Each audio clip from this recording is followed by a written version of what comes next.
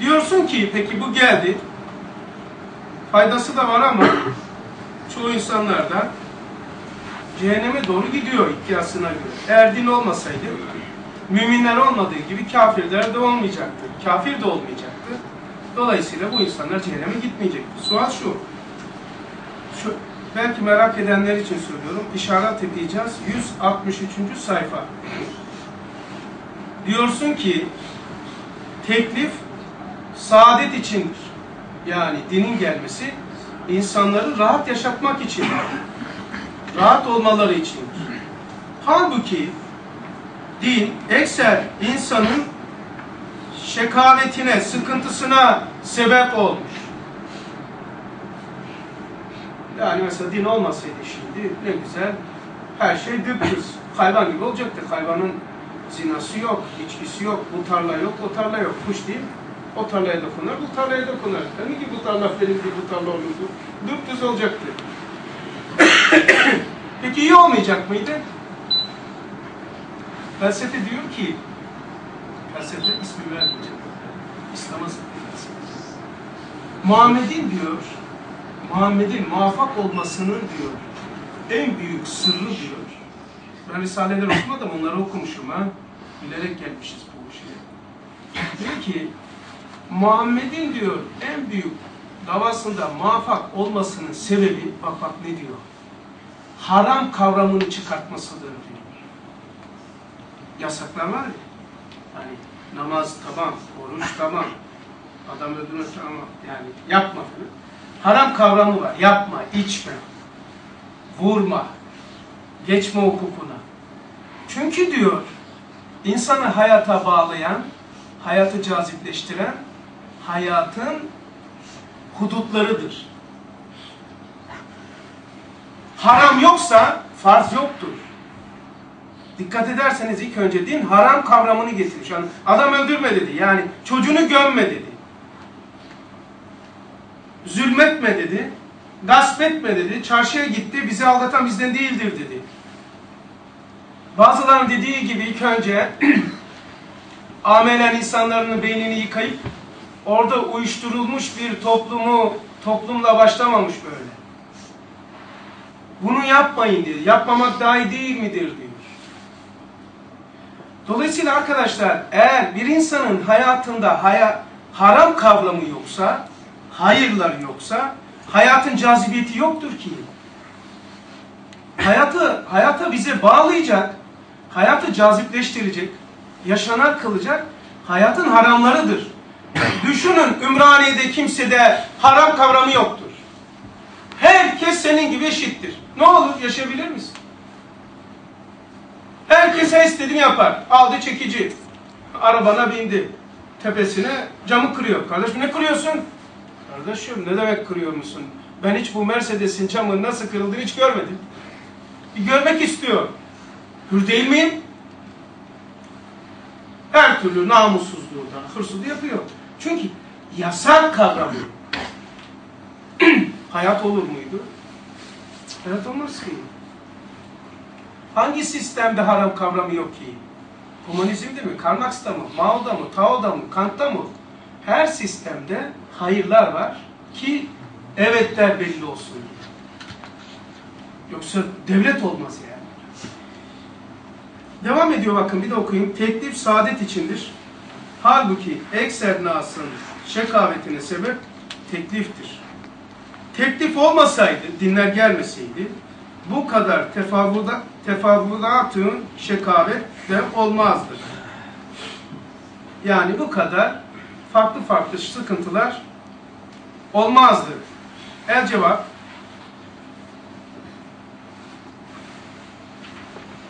Cenab-ı Hak verdiği cüz-i ihtiyari ile efal ihtiyari alimine kesbiyle teşkil etmeyi insanın mükellef kıldığı gibi. İnsan, Cenab-ı Hakk'ın insana vermiş olduğu bir ihtiyar var. Yani yapıp yapmama tercih kavramı. Hayatı düz yaşamıyor insan. Bir mesela sığır, her yerde sığırdır. Bu ahıra bağlarsın, ertesi gün bu ahırda da bağlarsın. Demez yani, aa falana saz alıp da falan geçmiş asırda, geçmiş ahırım neydi falan diye mazi sıkıntısının elevini çekmez. Öyle bir derdi yok, problemi yok. Her şey düz. Bakın düz. Sığır çünkü. Çünkü tercih kavramı yok hayvanda. Hayır. Evet. Hayırları ve evetleri. Yok. insanda var. Dolayısıyla ne yapmış? İnsan kendi alemini tanzim ettiği gibi mesela gençler çok olduğu için söylüyor. Akşam elbiseni çıkartıyorsun, pat diye atıyorsun. Hayır diyeceksin arkadaşım, kuralda yaşayacaksın. Nizamla yaşayacaksın. Az oraya. Hayır bunu yapamam. Annemdir, bacımdır, etettir değil. Komünizmde öyledir. Komünizmde iki tane temel esas vardır. Aşırı devletçidir. İki, hiçbir ahlak mefhumunu tanımaz. Karl eserini okuduğum için söylüyorum o. Ne demek? Etettir. Tabi insanın fıtratına zıt olduğu için 40 günlükken bebeği alıyor. Ondan sonra çocuk yetiştirme, yetiştiriliyor. Ne onu tanıyor ne onu. 20 yaşında bir kız çocuk doğursa 40 yaşında o çocuk 20 olur. Doğuran da 40 olur. Annesiyle, bilmez ki. Beraber olabilir. Maalesef ama tutmadı. insanın fıtratına tutmadığı için koca bir imparatorluk Rusya çok. Efal ihtiyari alemini kesbiyle teşkil etme insanı mükellef kıldığı gibi ruhu beşerde vediya olarak ekilen gayrimutenayi tohumların sulamak ve nüşü nemalandırmak için beşeri teklifler mükellef kılmıştır. Yani şimdi insanın insan camül cemdir. Cemül ezdattır. Bütün fıtratlar vardır insanda. Sığırı nereye alırsanız alın. O odur. Ama biz öyle değiliz. Al seni buradan alsın, oraya bırakırsın, oradasın. Oraya uyum sağlarsın. Götürsün İsviçre'ye, oraya uyum sağlarsın. Oranın lisanını öğrenirsin. Ama sığır her yerde burada mo dediği gibi İsviçre'de de mo der. Değil mi? Burada hoş geldiniz Türkçe konuşurken öteki tarafta başka bir lisan kullanıyor insan. İnsan tuhaf yani. Acayip bir mahluk. Tasarruf ediyor ya. 60 kilo bir adam yıldızlarda dolaşıyor. Dünyaya sığmıyor. Dünyaya. İnsanın yapısına bak. Dünyaya sığmıyor. Kainata sığmıyor. Derinliklerinde, fıtratında, yaratılışında nihayetsizlik var. Nedir o? Mesela hangi duygunuz olursa olsun hududu yoktur. Beka istiyorsunuz. Ne var? Menfaat istiyorsunuz. Hududu nerede? Yok ki hududu. Sonsuz menfaat istiyoruz. Elem istiyor musun? Hayır. Nereye kadar? Sonsuza kadar istemiyorum. Bütün duygularınızın hudutları nihayetsizdir. Nihayeti yoktur. Bu da neyi gösteriyor? İnsan nihayetsiz bir zatın eseridir. Gözümün arkasında kör birisi vardır. Bu şıkkı daha mantıklıdır. Gözümü yapan görüyordur. Hangi şık daha mantıklı? Daha herhangi ben Allah demiyor. Gözümü yapanın kör olmaması lazım. İki, gözümü, kulağımı yapanın sağır olmaması lazım. İrademi bana verenin iradesiz olmaması lazım. Be, bana hayatı verenin kendisi ölü olmaması gerekiyor. Evet dediğim için Müslüman değilim ben. Bu mantıki bir, zaruri, garizi bir mantıktır. Bunun aksini söylemek inattır. İnatla da zaten konuşulmaz. Yani gözümü veren A şıkkı görüyordur. Gözümü veren B şıkkı kördür. Hangi şık daha mantıklı? Elbette ki bu böyledir ya. Bu yani bir ilim gerekmiyor ki. Bana hayatı veren hayatsızdır. Çok mu zorlandın yani bu tercih yapmak için? Çok mu zordu? Bilmiyor. Kim olduğunu bilmiyor. God'dur, God'dur, Allah'tır, Tanrı'dır. Yeni Hegel'in felsefesine göre kainatı kuşatan bir enerjidir. Yeni modern e, şey felsefede yani Tanrı'yı inkar eden felsefede anlayış şudur. Allah yerine şu kavramı koymuş.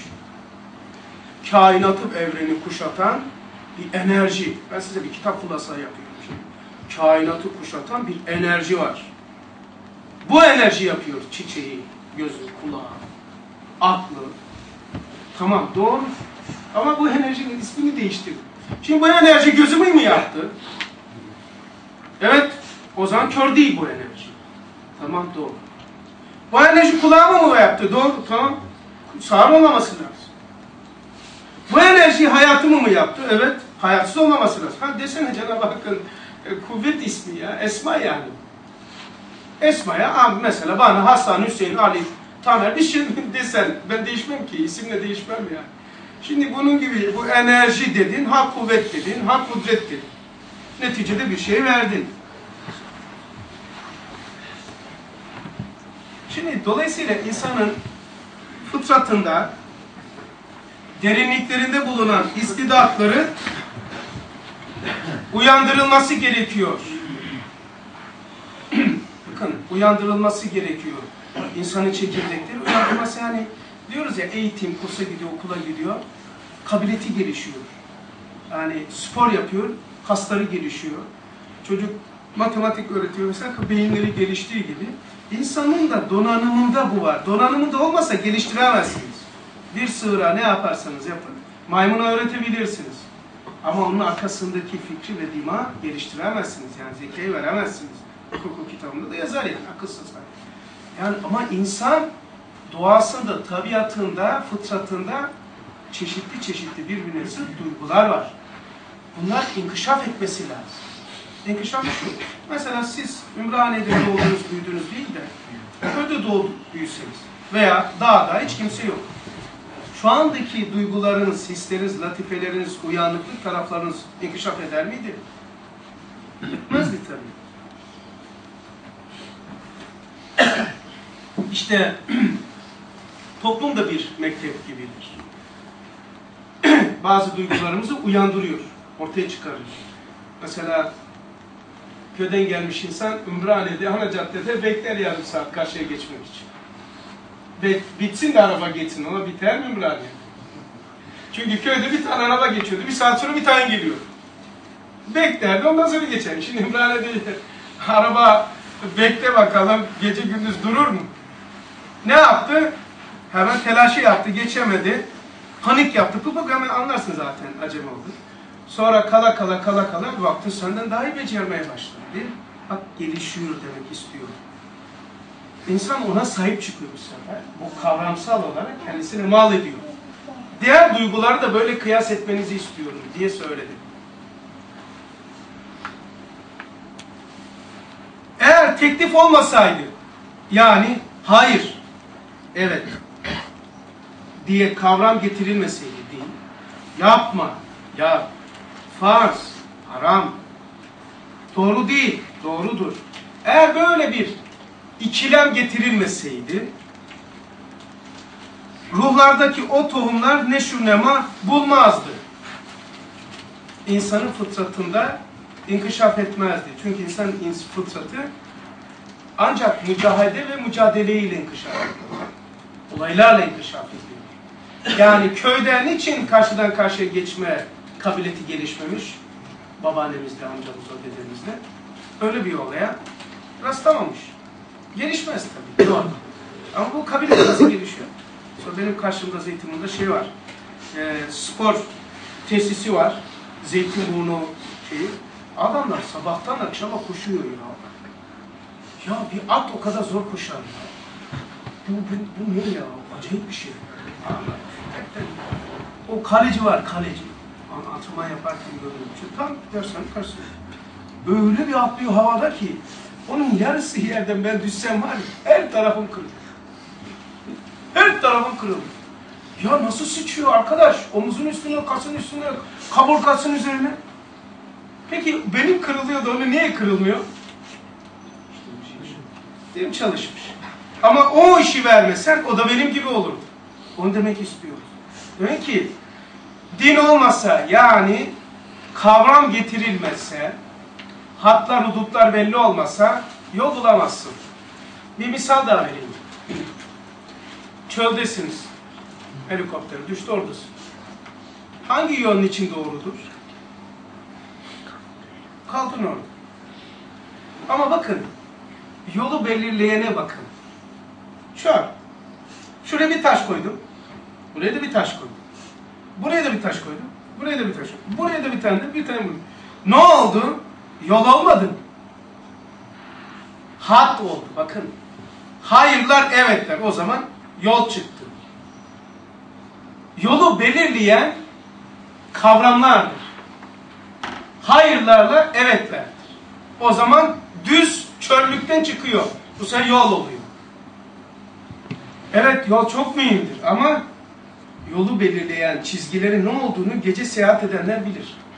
İki, tanımadığınız yerlerdeki trafik işaretleri yani adres belirleme, ilçe, köy çıkışlarını o tabelalar yol kadar mühimdir.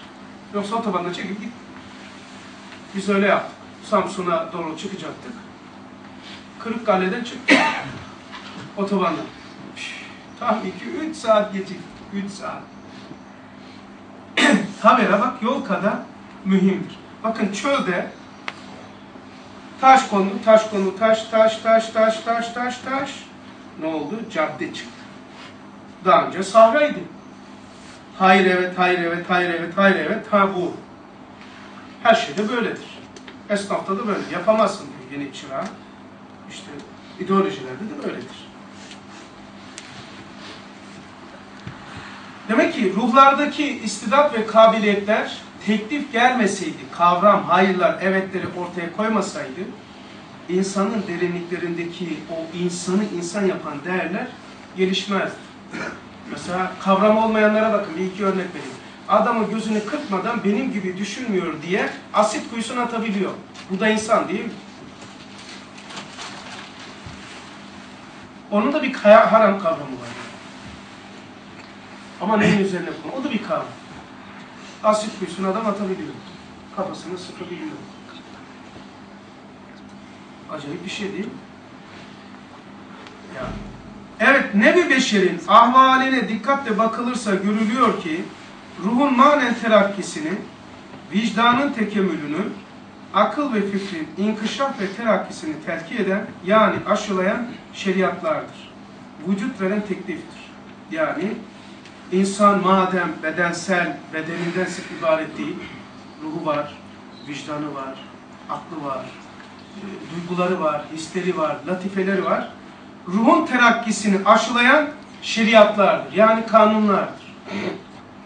Şeriat kanunların mecmuasıdır. Türkiye Cumhuriyeti Anayasa Mahkemesi gibi. Yani kanunlar, her devletin kanunu olduğu gibi her bir dinin de kanunu olacak tabii. Kavramları olacak. Hayırlar olacaktır, evetler olacaktır. Ruhun terakkisini aşılayan şeriatlardır. Vicdanın tekümülünü, tekemmülüne vücut veren tekliftir. Yani şimdi ortada insan bıraksak, hiçbir terbiye almasak bir insanı, niçin inkişaf edecek? Ancak ağaçtan meyve yediği, balık tuttuğu. Onları bilir yani. İnsancıl duyguları gelişmez ki. Yani vicdanı duyguları gelişmez. O zaman o insanın vicdani duygularını geliştirmek için bunu yapma, bunu yap. Sonra aklın inkişafını hayat veren peygamberlerin gelmesi. Şimdi akıla da bunu vermek lazım. Akıl nerede bilecek yani? Herkese göre doğru vardır. Herkese göre yanlış vardır. Ümraniye'de bir milyon nüfus var deniliyor. En az 500 bin doğru olsa. 500 bin de yanlış olacak. E bu ne olur burası? Herkesin doğruluğu kalır. Demek ki bir tek şekilde içtimai hayatı sürebilmek ama tek şey düşürmemek şartıyla bunu aşılayan peygamberlerin gelmesidir. Eğer peygamberler gelmeseydi nereden bilecektik? Nereden bilecektik? Mesela dün bir hacamat yaptım da e şimdi peygamber demeseler nereden bilecektik? Mesela kabir ve sonraki hayatını nasıl izah edeceğiz mesela? İnsanın büyük meselesi kabirdir. Din yok. Şimdi laboratuvara sokabilir misin? Hava elimle ne kadar ceset yıkamış. Ne kadar kefen sarmış. Şimdi insanın büyük meselesi kabir. Şimdi din yok. Bu akıl da bunu görüyor. Çözmesi lazım. Durduramazsın ki bu aklı. Kabir ve sonrası. Nasıl izah edeceksin? Gözüken şu. Yılan çıyanlar akrep olacak. Bir de onun için güneş doğmayacak. Bir de varlık gö gözükmeyecek. Varlık yoktur onun için. Gözüken bu. İyi bir şey mi yani? Fıtratımıza, yaratılışımıza, doğamıza hoş mu geliyor? İyi ki yok oluyoruz be. Dinler diyor ki yok diyor, bekaya gideceksin diyor. Varlığa gideceksin. Bunlar geçittir. Bazıları diyor ki hayır hayır hayır. Nereden çıktı o diyor ya. Kim görmüş diyor. Hayır yok olacağız. Ulan şöyle demen lazım. Bunu demen lazım geçmeden önce başıma geçen bir hadiseyi. Yurt dışında lojmanda oturuyorum gece. Gece vardiyasından 12'den çıkıyorlar. Yarında benim lojmanıma geliyorlar. Ha. Lojmanda Türkiye'de Türkiye'li bir arkadaş fabrikada mesai arkadaşı. Polonyalı. Polonya'da, Polonya'da ya Romanya ama ikisinden bir tanesi. Ya Polonya ya Romanya. Çavuşeski neresiydi? Romanya. Orası. Onunla beraber gelmiş. Hiç unutmuyorum. Bak o şehirli. Yani o devlette onu tanımak için. Kolay mı Romanya mı? Onun için dedim. Niçin gelmiş biliyor musun? 12'de çıkmışlar fabrikadan yarımda lojmana geliyor. Dedi ki o Romanyalı, Romanya. Bu diyor Türk diyor bana çok orijinal bir fikir söyledi diyor. Bunu ispat ispatını istiyor. Ne söyledi sana dedim tercümanı. Diyor ki ahiret var diyor. Böyle yani biz toprağa girdikten sonra tekrar güzel bir hayat var. Doğru mu söylüyor diyor bu. Doğru söylüyor ama dedim seni niye merak ettin yani sen bunu? Ben de ne istedim yani ben toprak olmayayım. Cennete gideyim işte şöyle yapayım böyle yapayım. Bilen bir insan ister ya cenneti. Biz de onun için ister zannediyoruz. Hayır hayır hayır. Ben kendim için istemiyorum. Dedim istiyor musun böyle bir yerin olmasını? Çok istiyorum. Dedi. Yeter ki sen ispat et. Niçin istiyorsun dedim. Ben çocukken dedi polisler babama geldi gözümüzün önünde toplumda yapmışlar mahalle için herkes görsün çıkarsınlar diye. Ondan sonra isyan etmiş zorluklara karşı. İşte suç değil diyor. Hayır. Yani yaptıkları hatalar şeyler. Babam diyor biraz açık konuşurdu dedi. Polisler geldi herkesin yanında bizim gözümüz önünde kafasına mermiyi sıktılar. Büyüdüm ben diyor. O gün bugün hep intikam içim yanıyor diyor. Bir şey yapamam. Eğer diyor böyle bir yer olursa babamın intikamımı intikamını Tanrı alacak diyor. Tanrı alması beni rahatlatır diyor. Siz diyor yeter ki o yerin bağlığını bana ispat edin. Adam ahiret istiyor, intikam için. Adalet kavramı için. Bakın fıtratın dilini görüyor musunuz? Yakalamanızı istiyor. Fıtrat nasıl zeka istiyor? Nasıl adalet istiyor? Belki de bu bir sürü kendi suçları da var. Ama diyor ki olsun. İstiyor. Bunun için en az istiyor. Şimdi epey oluyor bu 5-10 sene var. Böyle şeriat deyince medyadan korkutulmuş, ürkütülmüş bir toplumda yaşıyoruz. Şöyle yok. Yani gusül icap ettiği zaman yıkanmıyor musun? İşte bu şeriattır işte. Paran çok olduğu zaman fakire ver işte. Bu şeriattır işte. Yolda taş gördüm. Tamam mı? Kenara at. Bu şeriattır. Öyle mi ya? Bir tanesi geldi. Baktım. Artvin. Dedi ki ben diyor el kol kesmeye karşıyım. Ulan herkes karşı.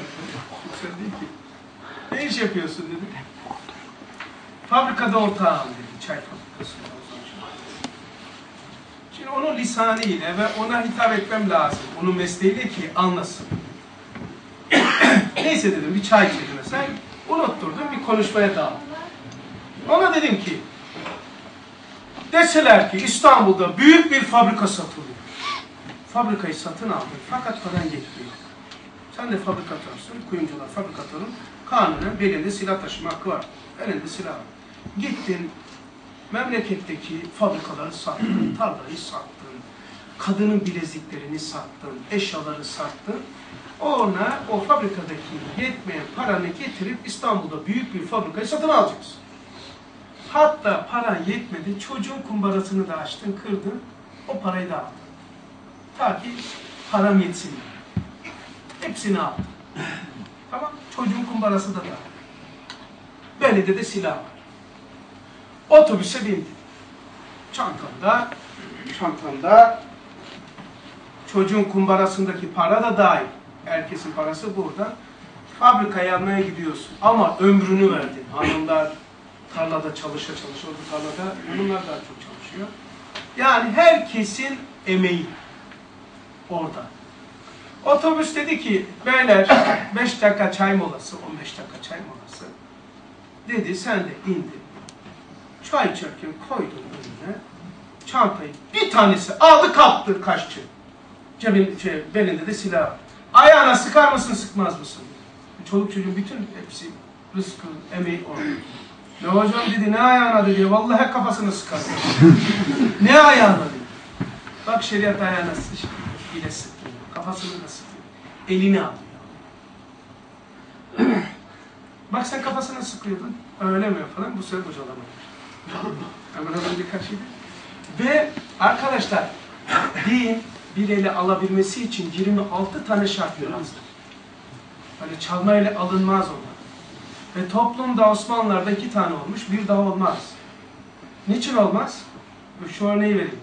Hakim hırsıza diyor, nedir ya bıktım senden diyor ya, hırsıza diyor. Her zaman karşıma çıkıyorsun, bir daha seni görmek istemiyorum diyor. Bu tam hakim bey demesi beklerken, çocuk demiş ki, ben bir daha görmek istemiyorum dedi ya hakim. No hakim bey, emekli mi oluyorsunuz. Görüyor musun ya? Çünkü niye? Buradan girip oradan çıkacağım. Öyle bir düşünce sahibi olan bir insan hırsızlığa niçin telefonları kapattınız diye söyledim anlıyorsunuz değil mi? Özür dilerim. Ha, tamam.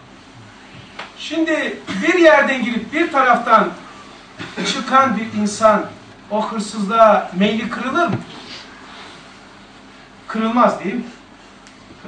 Ha, bir tane olsa Taksim'de gösterilse ibret alem için bir de olmaz.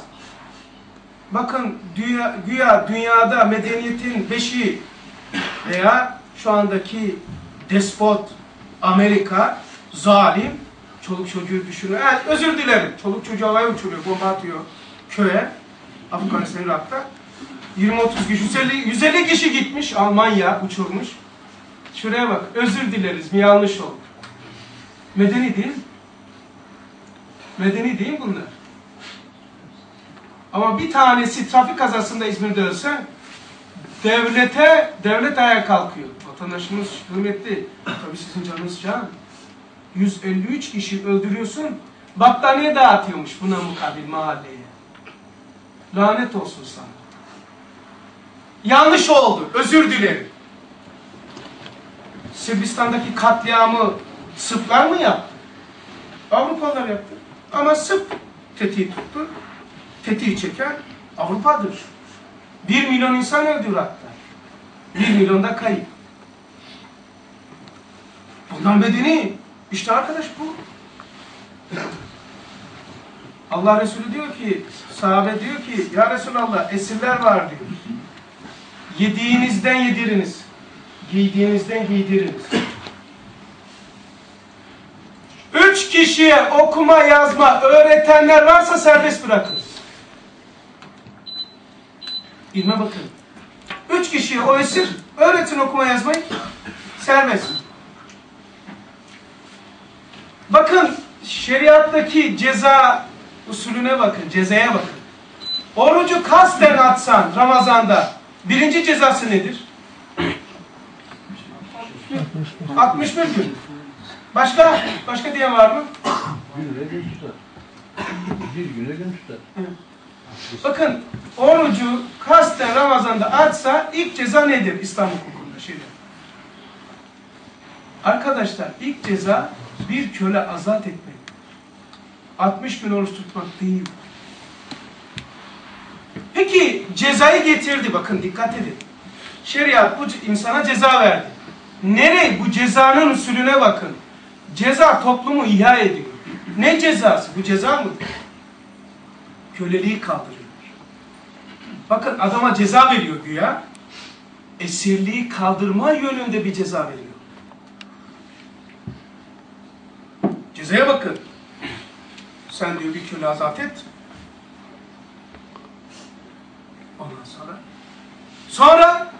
Ulema arasında ikinci ve üçüncü arasında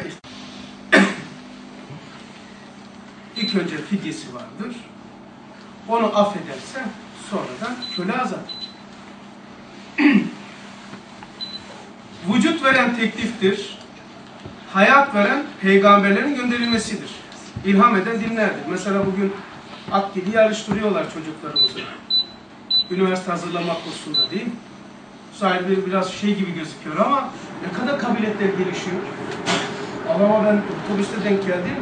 Havada soru çözüyor ya kitaba bakmadan. Bizim zamanımızda da lazım. Şu nasıldır diyor, soruyor, tak tak kafadan cevap veriyor. Şey, fena bir matematik oldu. Kafadan ya, fena bir matematik. Nasıl gelişmiş? Çünkü yarış girmiş devreye. İşte şimdi böyle. Hayat veren peygamberlerin gönderilmesidir. E, peygamber gönderilmesi doğru ve yanlışı nerede bileceğiz? Nasıl yorumlanacak? Nasıl izah edilecek kabir ve insan? İnsan psikolojisi nasıl değerlendirilecek? İlham eden dinlerdi. Eğer bu noktalar olmasaydı insan hayvan olarak kalacaktı. Yani elbette ki bazı değerleri olacaktı. Yani bir elbise giyebilir. Hani uyduruk var ya böyle, uyduruk kitaplarımıza girmiş. Yontma taş devri varmış. Molos taş devrileri var ya. Hiç öyle bir şey yok arkadaşlar. Bunlar hikaye. Darwinistlerin uydurdukları. Bu ilk medeni insan Adem Aleyhisselam. 2000 sene yaşamış, 700 lisan biliyor. Ayette biz ona eşyanın hakikatini öğrettik. İsmini öğrettik. Ama bu kadar ciddi bir iddia, hep elle çizdikleri in, tüylü insan var kitaplarda. Kendi elle çizdikleri. Maalesef. Din namına neler? Meşhur bir dam bir adamı var. İşte İngiltere, Londra'da alfa, beta, gamma ışınları çıkınca kimin yapısı tespit edilince orangutanla insan kemiğinin monte edildiğini tespit edildi. Bak diyor muzenere attılar. Anlaşıldı. Yani bu kadar sahte yani. Yeter ki adam şey olmasın. Hani din namına değil o da bir din. Dinsizlik de bir din. O da bir inançtır. İnançsızlık inancı. İnanmıyor diyor ama o da öyle inançtır. İnanmamaya inanıyor. Ve insandaki bu kadar kemalat-ı vicdaniye ve ahlak hasene tamamen yok olurlardı. Yani anamdır, bacımdır, din olmasa, dinler olmasa nasıl ayırt edecekti ki anamdır, bacımdır, kızımdır? Bu, bu kavramı dinler getirdi. Kanada'da bir ateist annesine evlenme teklifi yapmış. Günah ya.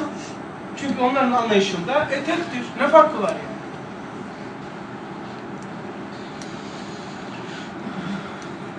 Yani aile kavramını dinler getirmiş. aile kavramını dinler yani dinimiz değil, dinler getirmiş.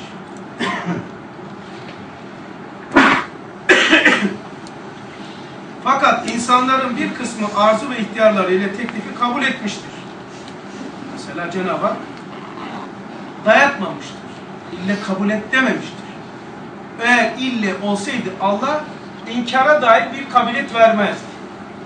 Vermezdi ya. Sığır gibi seni kodlardı. Deneyen öyle yapardı. Nasıl tekrar? Yani Allah'a küfür edebileceğiniz kadar hürriyet verilmiş. Daha nasıl hürriyet verilecekti? Reddediyor. Her türlü iradesiyle günahı işliyor. Sonra diyor ki günahımı kader yaptı. Soruyorum sana. İradenle yaptığın şu günahları kader yapmışsa günah kavramını bana izah eder misin? Başka hangisi günah? Günah var mı başka bir şey?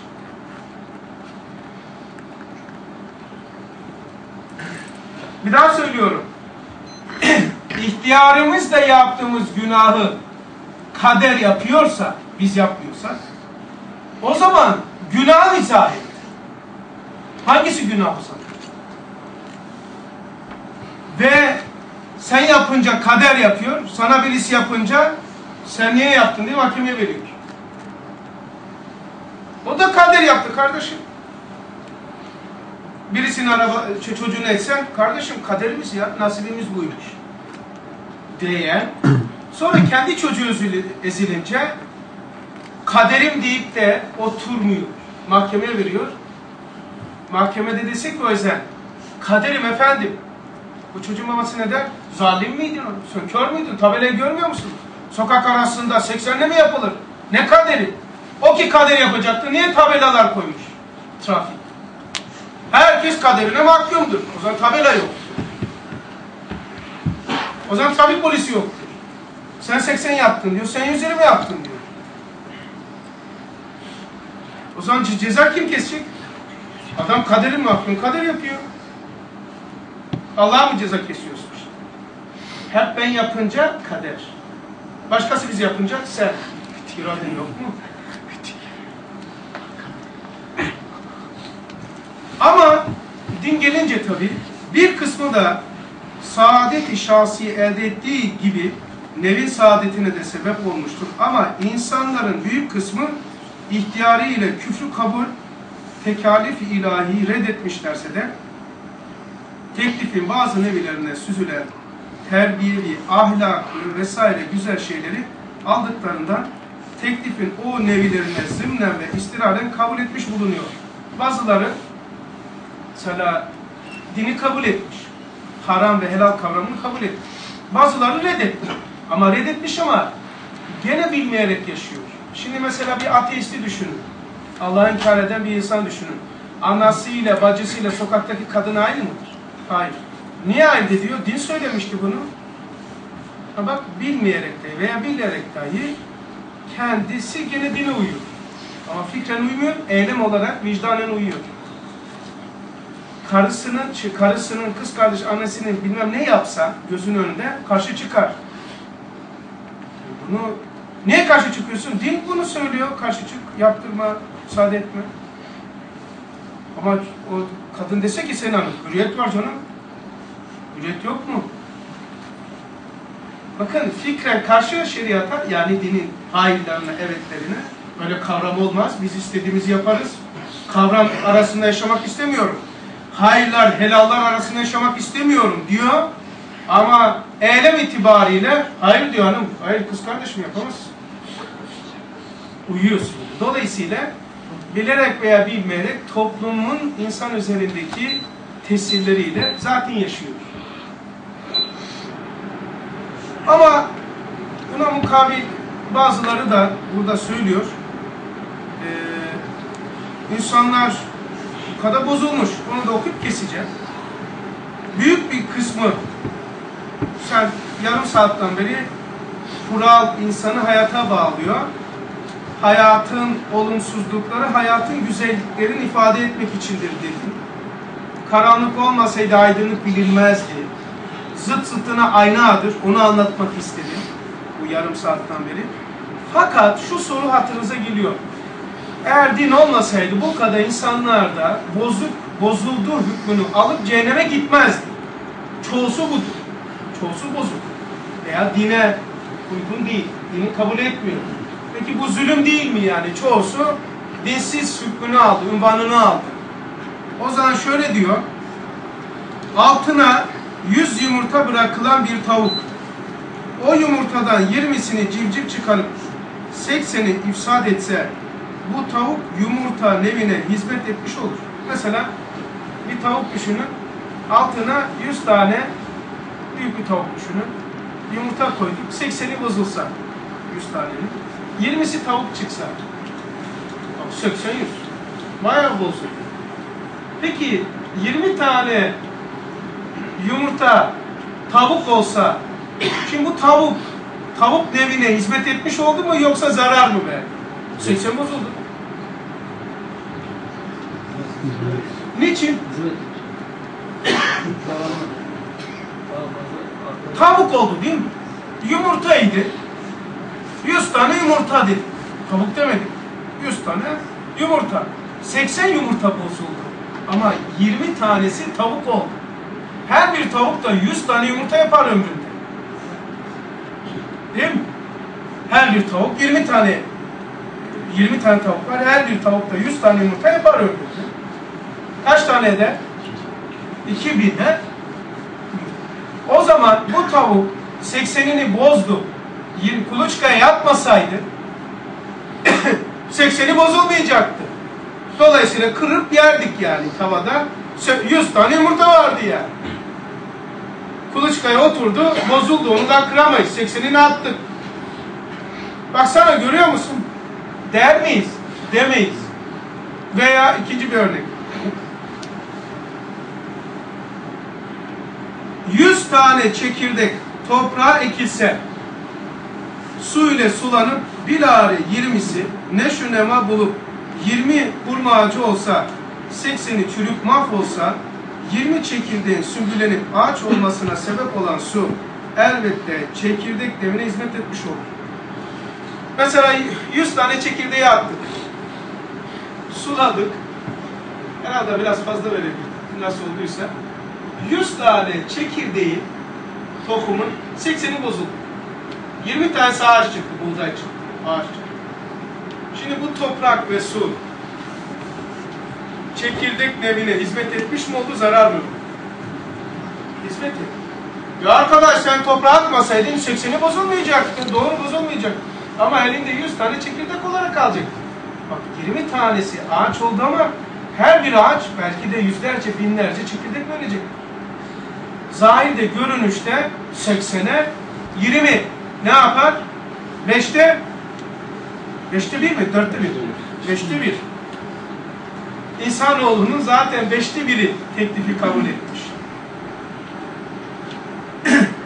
Veyahut bir maden ateşe eritilse beşte biri altın mütebakisi toprak çıksa elbette ateş o madenin kemaline, saadetine sebep olur.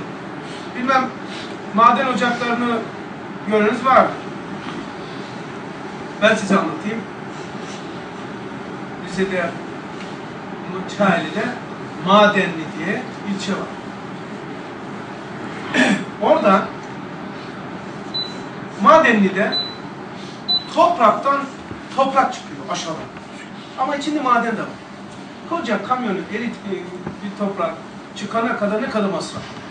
Kaç yüz metre iniyorlar, çıkartıyorlar, bilmem ne yapıyorlar, eritiyorlar. Oradan o kamyondan birkaç yüz gram altın çıkıyor. Ama koca kamyon toprak ya çıkartacaksın. Orada ne kadar insan ölüyor. Yukarıya bilmem ne. Serüveni acayip çok uzun. Ama birkaç yüz gram altın. Peki nasıl çıkıyor biliyor musunuz? Bu kamyonda olan toprağı yüksek fırına atıyorlar. Bu çok güzel bir misal var. 1500 santigrat derece ısı verdikleri zaman 7 kalem çıkıyor topraktan oradan. 7 kalem.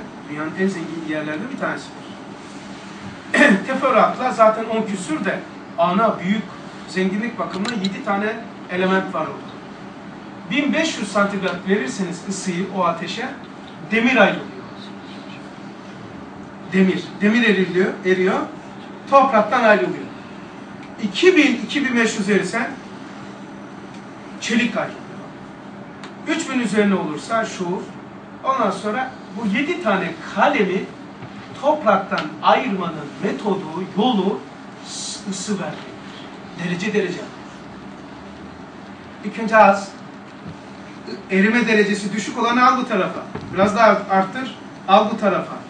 Biraz daha arttır, al bu tarafa. Tamam Sonra en kaliteliye en yüksek ısı veriyorsun. Altın biliyorsunuz eleti en çok yayan altındır. Onun için Sony bilgisayarda ısınması az olmasının sebebi o ısınma cihazını altınla yapıyormuş. Nasıl yapıyorsun? Çünkü ısınma olmuyor. Şimdi bu nereye misal? Bakın arkadaşlar. Beşerde kanun ilk doğduğu zaman Adem Aleyhisselam'a hani o toprakta çok elementler var ya çok. Çok insan fıtratı var. Ne yapıyorsun? İlk önce düşük ısı veriyorsun. Düşük ısıdaki elementi al bu tarafa. Biraz daha arttırıyorsun. İkinciyi al. Biraz daha arttırıyor. En son beğenmiyorsun. Şeye benziyor. İlkokula mı gidiyor çocuk? Onu ver. Ortaokula mı gidiyor? O dersi ver. Ya bu çocuk en sonunda ne olacaktı doktor? İlkokulda onu verelim hemen. Olmaz mı? Olmaz. Motor yanar.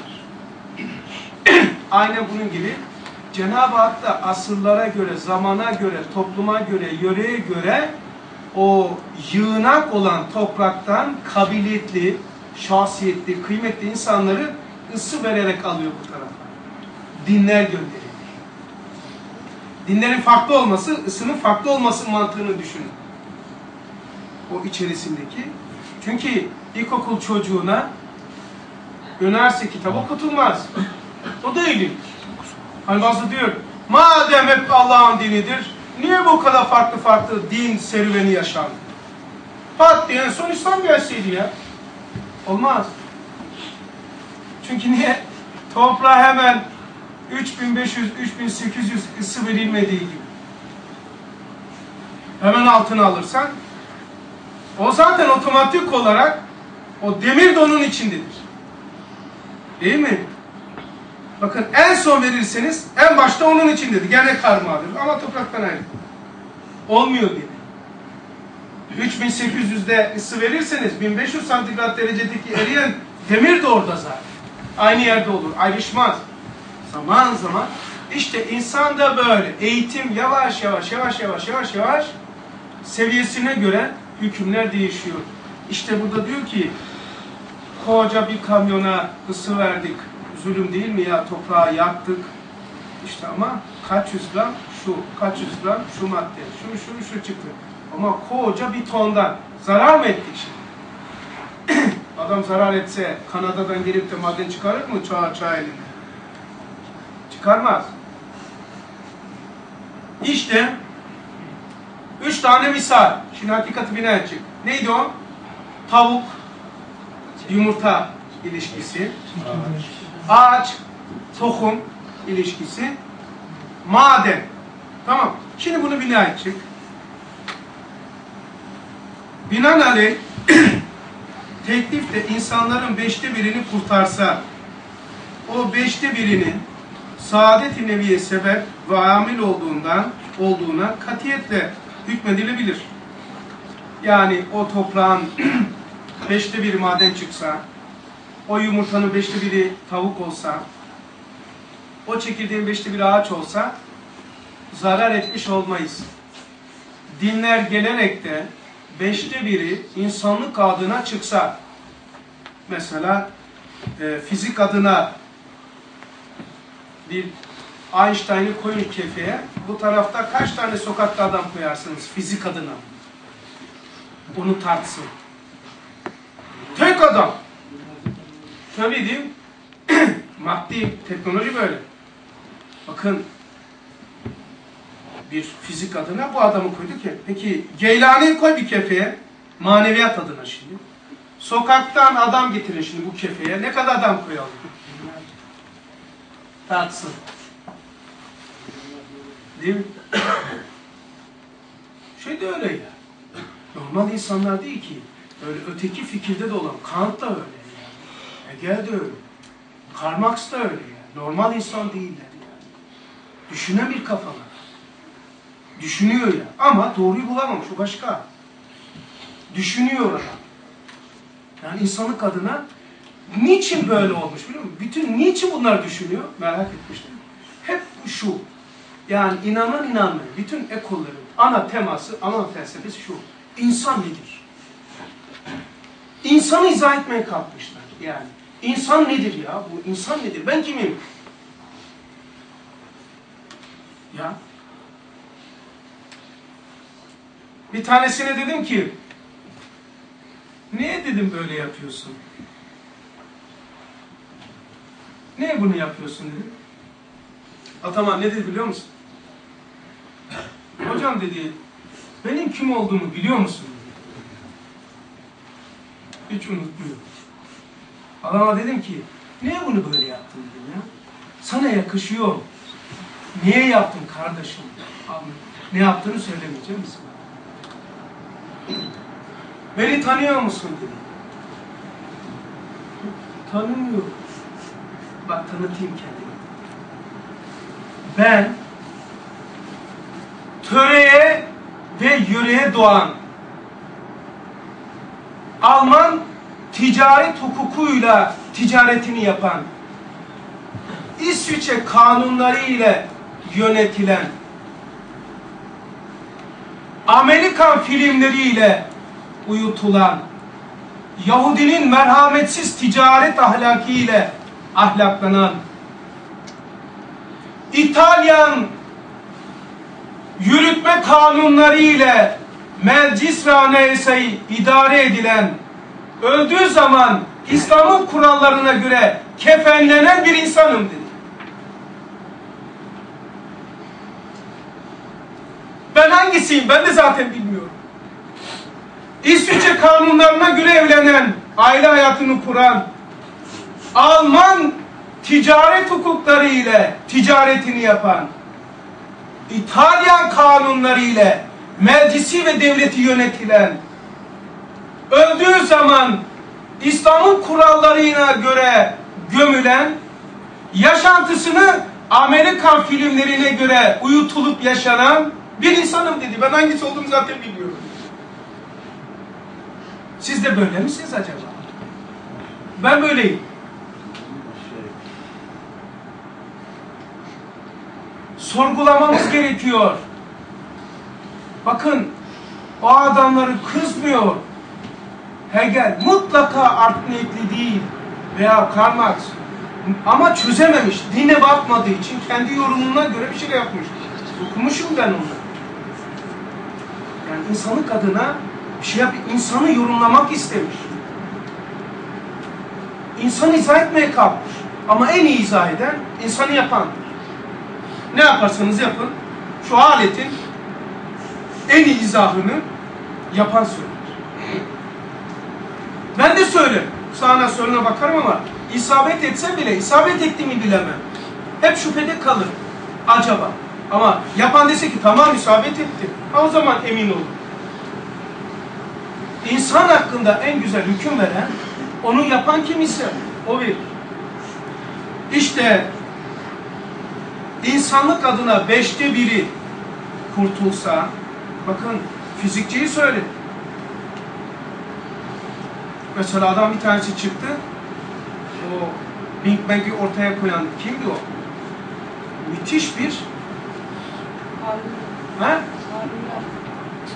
Big Bang diye bir teori yani bütün bu kainat nerede şu anda fiziğin İsviçre'de ispat ediliyor şu anda ispat edildi yüzde yetmiş beş o Cel denilen bir şehir denilen Cel şehirde bir 28 kilometre yarı çaplı bir şeyde alanda bu fizik deniyor. Neymiş biliyor musun Big Bang? Lazım da için yani şu anda bir ortamında onu niye değil? Nur Muhammed'in bir değişik ifadesi. Diyor ki bu kainat var ya şu kainat gördünüz bütün kainat ağırlıklı yani. Bu ağırlıklı kainat ağırlık olmayan bir noktadan çıktı. Ağırlık yok orada. Din söylesi olan yobaza bak. Bu kadar ağırlık nereden çıktı? Ağırlığı olmayandan çıktı. Şuraya bak kimin anına? Bu hacim var ya mekan yer. Mekan olmayan bir noktadan çıktı. Diyor. Bu renkler, şekiller, farklılıklar hiçbir farklılığı olmayan bir nokta. Big Bang, büyük patlama. O diyor, o nokta bile bir yerde değil. Bir yerde versen diyor, noktadan önce bir yer var. O noktadan önce hiçbir şey yok ama nokta diyoruz, nokta da değil. Çünkü nokta diyebilmek için noktayı konulacak bir yer olması lazım. Yer de yok, nokta da yok. Ama nokta farz ediyoruz orayı. Diyor ve fizik olarak kabul ediliyor. Yüzde seksen de geçerliliği ispat ediliyor. Ne diyor biliyor musun adam? Bütün kütle kütlesizden, bütün hacim hacimsizden, bütün belirleniş ve şekiller şekilsizden çıkmış. Bunu beyin kabul ediyor. Yani bu yaratılan buradan. Bunu kim yarattı diye sormuyor bu noktayı. Hani ağacı kim yaptı Allah? Allah kim yaptı diye soruyor. Bütün bu yapılanlar nereden? Noktadan. Noktayı kim yaptı diye sormuyor. Yok, gerek yok.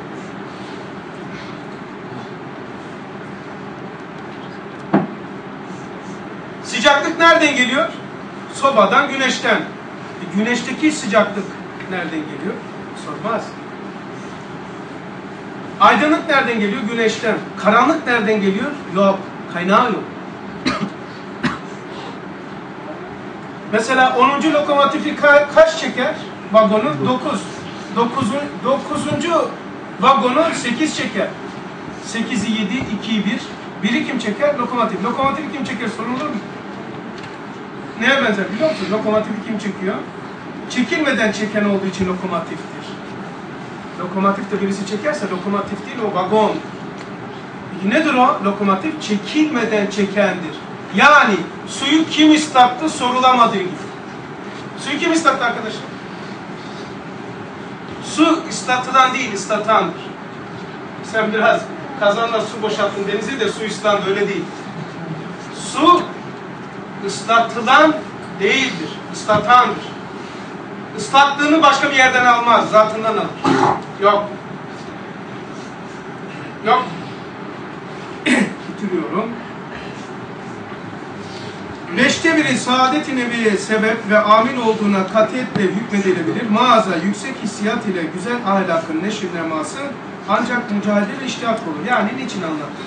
Üç tane misal çekirdek tohum, toprakta mücahede ve mücadele ile insanın derinliklerinde bulunan, karanlıklarında bulunan bu derin duyguların çıkmasına sebep mücahededir, mücadeledir.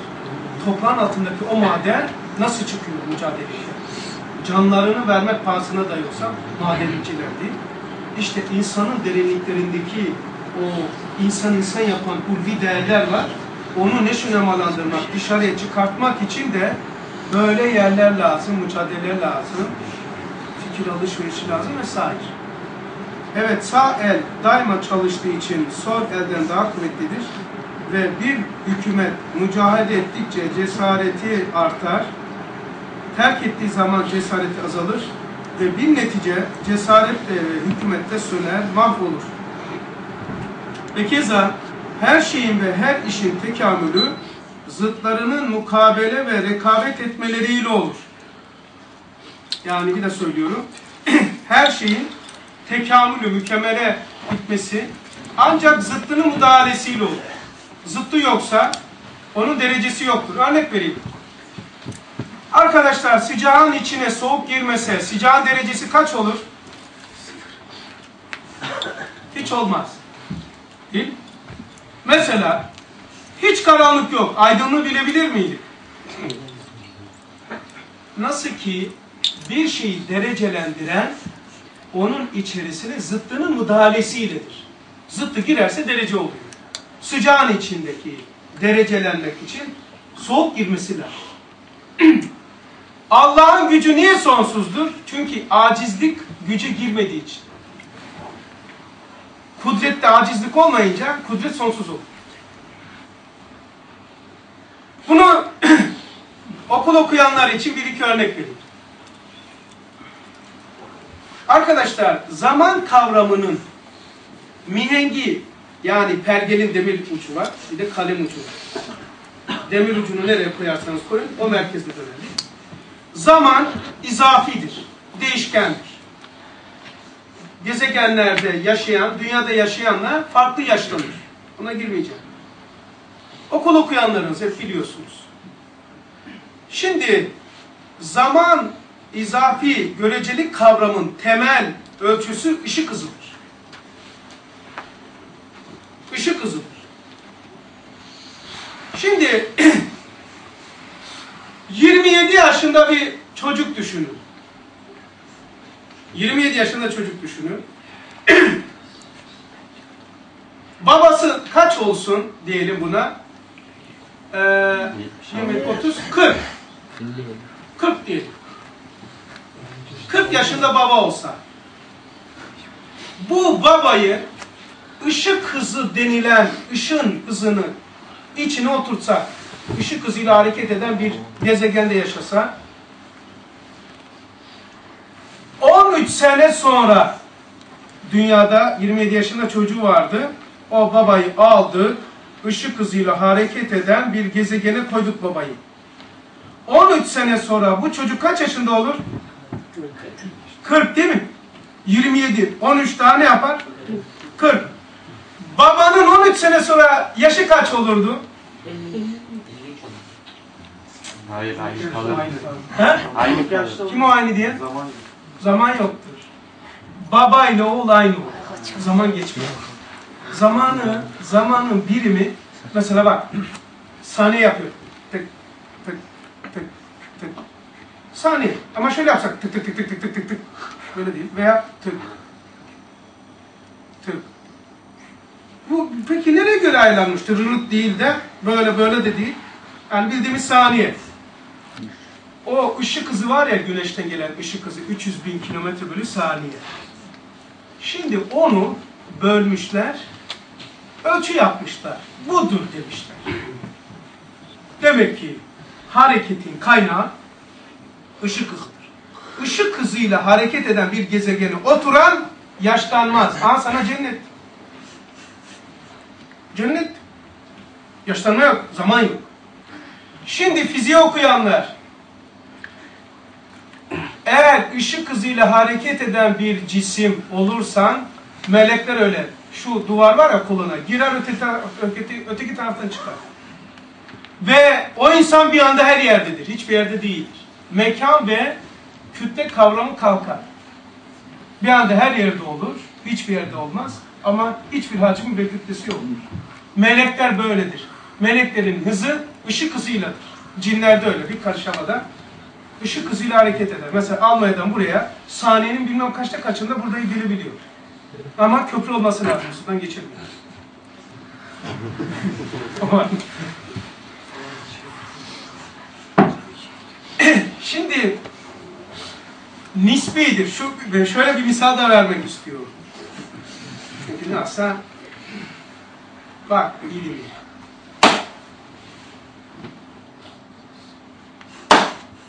İki gürültü arasında kaç saniye geçmiştir? bir renk. 10 saniye diyor. Bir daha söylüyorum. İyi bakın.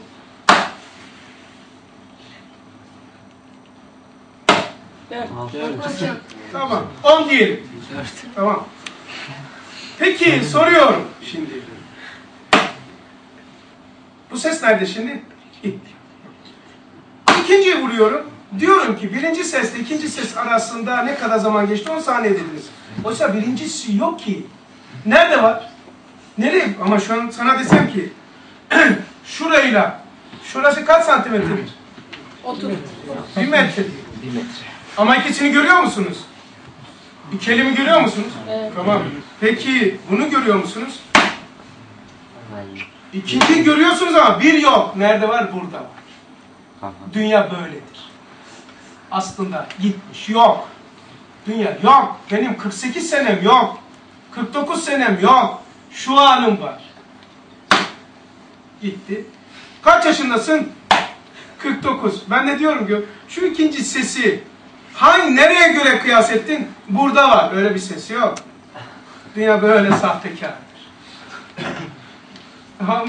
Yokluk üzerine kavram kuruyoruz. Varlık veriyoruz. Birinci vurduğum ses var mı? Yok.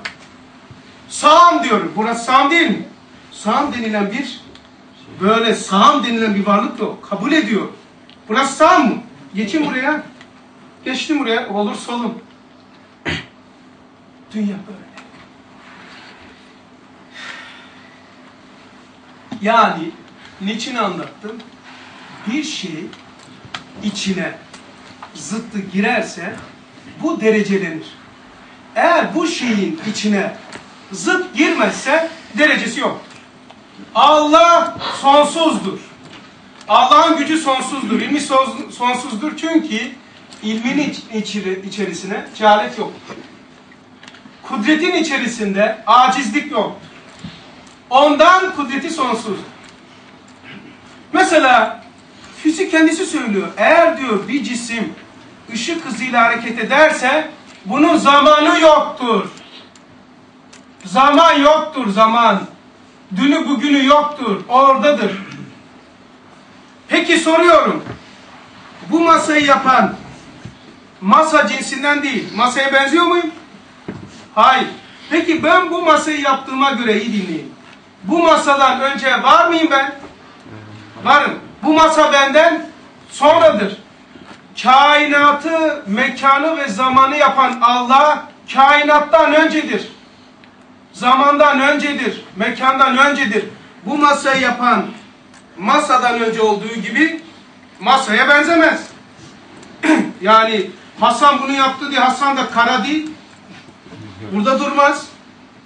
Ben yaptım diye bana ben bu insan mıdır? Allah kainatı yaptı diye kainat haşa Tanrı değildir. Masada, masayı yapan masadan önce olduğuna göre kainatı yapan Allah da kainattan öncedir. Kainattan önce ise Allah'ın mekanı ve zamanı yoktur. Çünkü mekanı yapan mekandan öncedir. Zamanı yapan zamandan öncedir. O zaman zamanı yoksa Allah'ın lem yelit ve lem yulet. Doğmamıştır, doğrulmamıştır. Zamanı olanın doğ- doğar. Ben mesela 49 yaşındayım. 49 sene önce doğmuş. Bak bir zaman oldu. Bak bunu bir daha söylüyorum. Bunu yapan bundan öncedir. Mekanı ve zamanı yapan yani ışık söyledim zaman ışık hızına göre ölçülür. Işık, zamanın kavramı da ışık hızıdır. Dolayısıyla ışığı yapan, mekanı yapan, ışıktan da mekandan da öncedir. O zaman mekanı yoktur, zamanı yoktur. Zamanı olmayanın başı yoktur. Başı olmayanı da kim yarattı sorulamaz. Suyu kim ıslattı gibi olur. Veya sonsuzun sonunda ne vardır? Böyle bir soru olur mu? Niye? Bakın, mantığa bakın. Sonsuzun sonunda ne var? Sonu Çok mantıksız bir soru. Sonsuz diyorsun, sonu veriyorsun, sonunda ne var diyorsun. O Sonsuz diyorsun, sonunda ne var diyorsun. Ama o zaman zamanı ve mekanı olmayanın sonu yoktur. Sonu olmayanın başlatanı olmaz. Sen o sorunu başlatılana sorabilirsin. Lokomotife soramazsın. Vagonu kim çekiyor diyebilirsin bu vagonu. Kaçıncı bu vagon? 3. 2 çekiyor. 2 1. Ama lokomotifi kim çekiyor soramazsın. Çay. Getir. Mesela hidayetin tekamülüne dalalet yardım ettiği gibi imanın tekamülüne de küfür yardım ediyor. Küfür nasıl yardım ediyor? Karanlık olmasa aydınlık bilinmediği için. İkinci ders inşallah çaydan sonra kardeşimiz söyle şey yaptı. Bir tabiattan veya imani bir ders yaparız. Tevhid, Allah, Allah'ın ispatıyla alakalı. Ve ahir davâhum enilhamdülillah rabbil alemin. El Fatiha.